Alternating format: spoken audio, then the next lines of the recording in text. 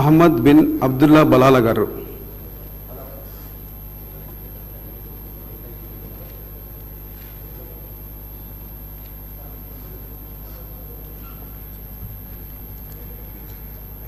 I, Ahmed bin Abdullah Balala, having been elected a member of the Legislative Assembly, do solemnly affirm that I will bear true faith and allegiance to the Constitution of India.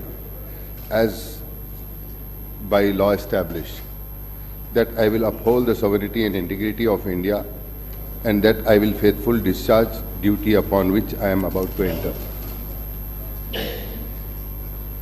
I, Ahmed bin Abdullah Balala, member of Telangana Legislative Assembly, do solemnly affirm that I shall abide by the, by the follow of the rules, observe the in- integrity and respect the convention of the House. Shri Aleti Maheshwar Reddy garu.